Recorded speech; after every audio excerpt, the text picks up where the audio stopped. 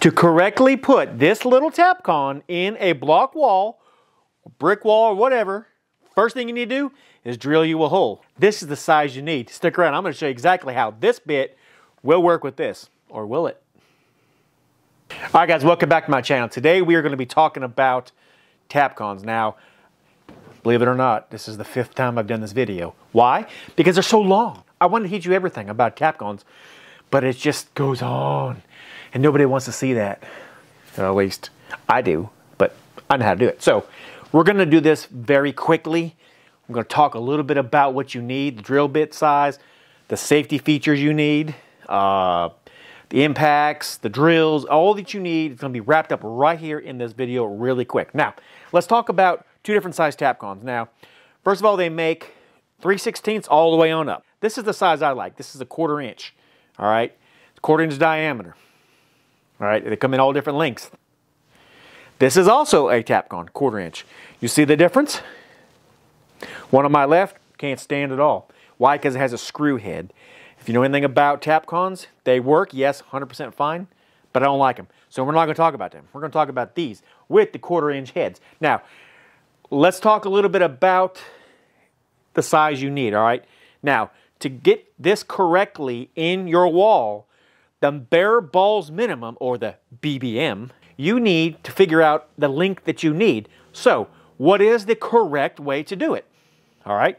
Now, you can do it the construction way, like normal everybody else does it, or you can do it by the manufacturer spec.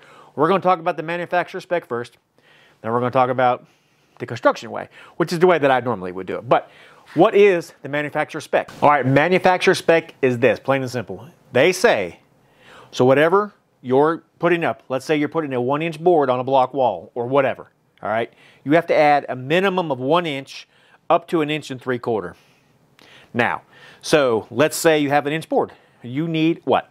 Two inch Tapcon minimum or two and three quarter. Now, what would normal people in everyday construction do? You look on the truck, oh crap, here's what all I got. I've got, you know, this size and then I got this size, right? You can see the difference. They're pretty different, right? I mean, there's all kinds of different sizes I got here. But what do you do? Well, first thing you need to make sure of is that your collar right here is definitely going to be able to attach to whatever you're using. So in other words, if you're looking at a block, which I'm going to show you here in a second, there's a void in here. We got to talk about this. This might be a little bit longer than normal, but we have to talk about the basic stuff that I try to teach people that work with me because this is the way I want it. And I'm going to tell you what the manufacturer says, but I'm also going to tell you what I say. From years' experience, I've seen well, let's just talk about this. So you definitely want to make sure that all of your threads are into the meat of a block. Like I said, I'm going to show you here in just a second what I'm talking about. You don't want this collar to be in a void. I'm going to show you real quick. So in other words, you don't want this part of your no threads to be inside here because you have nothing to, to grab, right? Nothing, not at all. So this is going to be not the right thing to use because the threads stop right here. Well, if you're just putting a let's just say a strap or electrical, or you're putting whatever, whatever you're putting on here, a little bar or whatever. You know, by the time you go through this void, uh, you're screwed. So did there? If you're going to do that and you want to use this long one for whatever reason, try to go in the middle. Every block that I've seen always has a center web. Or you can go to the edge, either edge. Got the same thing. Now, do not go into the mortar joint. That's what I was going to say earlier. Mortar joint is a no-go, all right? Plain and simple. So, would this work? Yeah. But if you're using an inch board, it's not going to work because that's that's not going to it's not going to cut it. You're only going to be, you know, just barely in here and you need a minimum of an inch according to specs, manufacturer specs, to be able to hold something very tightly onto whatever you're using, whether it be a board, piece of strut, whatever the case may be. Now, I'm going to take you outside real quick and I'm going to show you some mortar joints, what not to go into. I just please, for the love of God, don't go into the mortar joint. People do it all the time. And even the manufacturer says you can, but don't do it.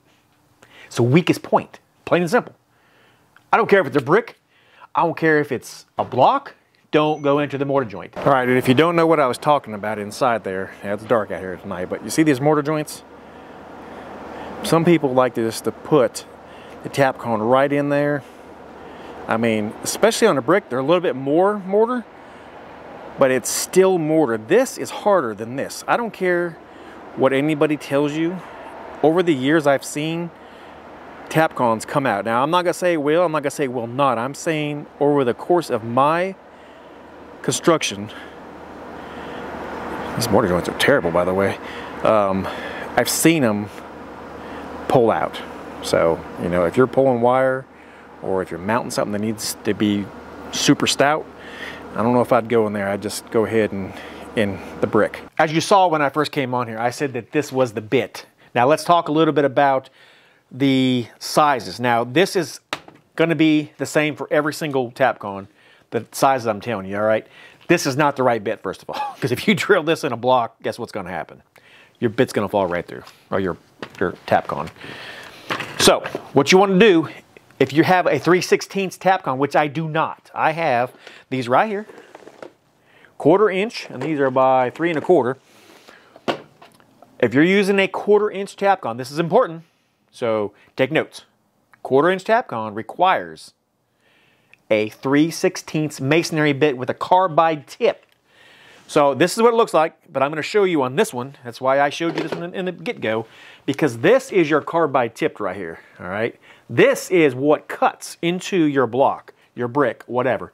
It's the same on this one. It's got the same kind of carbide tipped on there. If it's not there, chuck it, go get another one. It's got to be a masonry bit. It's got to say masonry, all right? Because if you're using some carbide metal that says that on there and it doesn't say masonry, it's not going to go in there. Now, do you have to use a hammer drill? Let's talk about that. No, you do not. You can drill straight in with a regular drill. If you're going to use any drill, no matter what happens, safety glasses and earplugs is a must, guys. You've got to make sure you keep yourself safe. All right, before we get on the safety part, after you drill your hole, they say you need to clean your hole out. Okay, I personally have never done that. The only time is when I'm drilling the floor because it's going to sit there. So technically, I've never had an issue. They say you will. Not saying you won't. I'm just saying I personally have never. You take your time and you drill easy with your impact driver with the Malco bit that is reversible, that I did a video on, then you have no problems. All right, another thing I want to talk about. If you're using a Tapcon this long, you don't want to drill, you know, so deep into it, you know. You want to make sure that you're, you know, somewhere, I personally like to go, like for this bit, I would go about that far over. Just what I would do. Now, you could put a piece of tape right around here to signify when you're drilling down that when the tape is on the whatever surface you're drilling into, you got to stop. Right? Okay. So now we got that out of the way. Safety. Ear protection. It's a must, guys. Eye protection. All right. If you're using a hammer drill, like I started to mention, this sucker is so loud. Oh my gosh. That's what you hear, and it's freaking unbelievable. So, we're not going to use this one. If you don't like all that noise, I'm going to show you a little something else that you might like. And it's this right here. Yeah, I look like a car salesman, don't I? But this is an SDS, and this will change the game. How you drill Tapcons or any bit. So this is what I use. Bought on Amazon. Leave links to everything down below if you decide to use my links. It will help my channel grow. Also, if you use this drill, for instance, it has a depth gauge. So you can put your Tapcon on there. You can use this so it only goes so far. So what you would do, let's say you want only want to go that deep. Well, the bit's not in there, obviously. So when it drills, and when it hits there, it's not going to drill anymore because this is in the way. So you're done. You know you are the correct depth. And everybody likes to go the correct depth every time. What do you drive your Tapcons in with? You can drive them in with a wrench, handheld wrench. Me, I ain't to do that. I'm to use an impact. You can use a drill. Just be cautious. Do not break, snap the head. Baker, you hate these things. You'll snap the head, right? Don't snap the head. So we're to show you how this works. I'm to show you with the with the camera facing down into the hole so you can see it come through. Because I'm going to go deeper than I need to. Because I, me personally, I have no issues with going deeper. I don't even mark the bits ever, unless I'm using drop-in anchors, which we will eventually hit on that very shortly. Not right now, but that is coming up. So definitely watch for that. All right. Earplugs, check. Or ear muffs. Safety glasses with the side shields, check. Now we're gonna get the right bit in here. We're not gonna use, I'm yelling, I'm sorry. We're not gonna use this. I do wanna show you something with the drill. If you do not know, you're gonna learn something else right here. After you put your bit in here, all right, this is super easy. All right, we'll make sure it's good and straight. You tighten it up like this. All right, and then you roll it back one time and it'll lock this bit in place. Listen, boom. Now it's not coming out. And you want to put the drill on number three, or hammer drill, sorry. On number three, click, and put this, there's an arrow right here. You want to roll it to hammer, so we'll roll it, boom. And now it's time to sink your bit into this lovely block. Get ready. Oh yeah, it's gonna get hot. All right, here we go. All right, so what we're gonna do with all of our safety stuff intact, you see the tripod, the camera's looking down, you're gonna be able to see that here. We're just gonna drill, we're gonna drill right here, all right? We're gonna go ahead and just drill it. Earplugs in, we're gonna push minimal force. Some people push on the back, whatever you wanna do. If you got a good bit, you don't have to. So let's go ahead and drill it.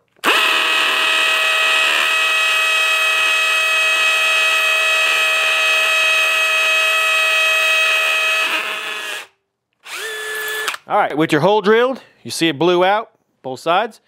Take your drill, make sure it is, or your impact, make sure it is on 5 16ths. This one is, as you can see. Put the Tapcon in, and watch how I run this, all right? Just push, push, push. Just go slow. Make sure you stay on it. Boom.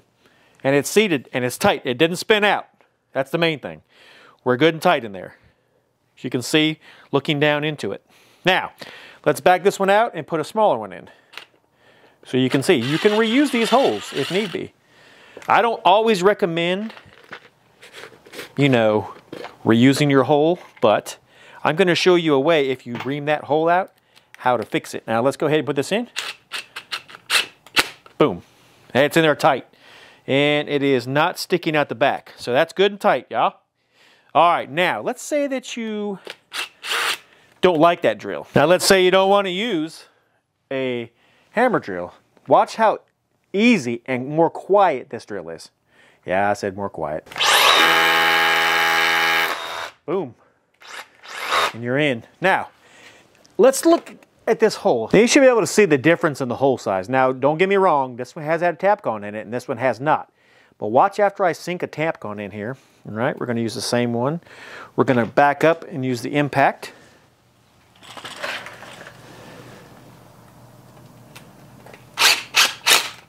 Boom. All right, we'll take it back out and let's see what looks better. Now, my opinion, and this is just my opinion, guys, look at that hole. Let me slide you close. All right. They look very identical, but this one here was so much easier to drill than this one. So, you know, and a lot less noise. Completely more quiet than the hammer drill. And SDS is an impressive tool, guys. So, in my opinion, so much better. I've lived using the hammer drill so long that when I got that, I was like, why have I waited so long? Now, you saw in the block where it blew out a little bit. So, and that was because I put it too close. And that's no problem because the inside going in of your block is where all the threads are and you saw how tight the Tapcon stayed. So you want to make sure that you use the right size Tapcon for the job. They label these as medium duty, but I'm here to tell you, I've hung uh, big gear on it. I've hung a tugger, if you're an electrician, you know what I'm talking about. A floor tugger, pulling 600s in, 500s in, 250s, parallel 250s, so on and so forth. They hold, all right? They, I mean, they're great. The, the strength is amazing. Supposedly, I believe they hold. In lightweight block, a quarter inch Tapcon, which was what we were using, the tension is 250 pounds, 650 pounds of shear. In medium weight block, 500, and shear is a thousand. So I mean, you know, does that really mean anything to me? No, I just know that they work and they will hold. Now, I did mention, what if the hole's too big? All right, I'm gonna save that one for a different video. Now, if you guys missed the very first anchor video, check right here, click on it, and I will see you guys in that video. If you like what you see, like and subscribe. God bless, and we'll see you guys on the next one. Remember, everything I use will be down in the description. Amazon link. God bless.